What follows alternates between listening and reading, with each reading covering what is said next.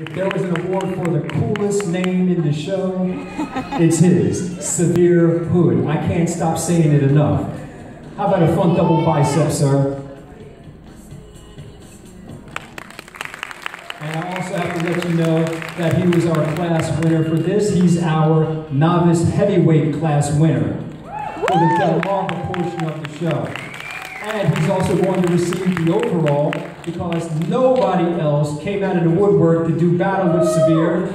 They saw some of those posts of him out there on the trail, out in Valley Forge. Severe is our overall novice bodybuilding champion for the Classic portion of the show.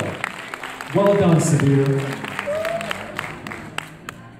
Hit that. There you go. That's what I'm talking about. You've earned your time in the spotlight, my friend. We're going to kidnap his sword because he's not going to be able to leave with it because if I don't hold on to it, all my overall winners leave before the end of the contest when I need to take that picture for the poster for next year. So I always have to kidnap their overall trophies and make them come back.